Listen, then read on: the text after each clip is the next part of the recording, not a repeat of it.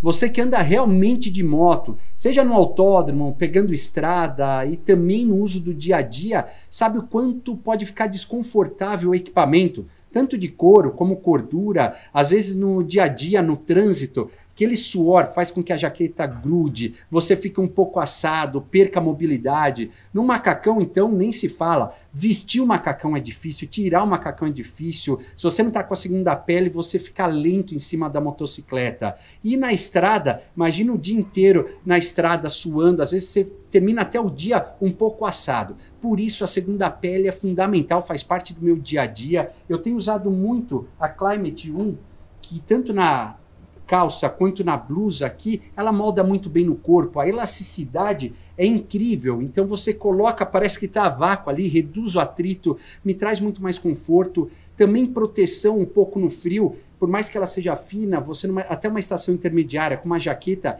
ela vai muito bem. Eu vou viajar de moto, não tenho espaço, eu coloco em qualquer compartimento. Estou usando durante o dia, também chego no hotel à noite, lavo, no dia seguinte está seco. Então essa versatilidade é muito boa.